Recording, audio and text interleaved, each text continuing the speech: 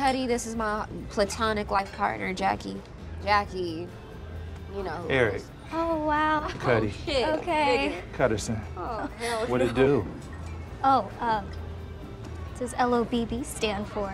Oh, you know the League of Bowling Bankers? You gotta lob that shit. I bowl for the big Akowskis. The bros abide, you feel me? Hey, wait a minute. Jack of all shades 510? ah! I follow you. Hey, I love you. Tits. Paintings. Nah, look, I'm a bowler, so I keeps it 300. I fucks with your art. That Sandy man, the trappy mermaid, and then, ooh, the daggered headless man, which, by the way, was a fascinating commentary on the dangerous anonymity of the patriarchy. And you fine as hell. Okay, nigga. All right, go ahead and bro with your bros. In a minute. Jacqueline, I see you down there. I'll see you down there. Uh, hmm.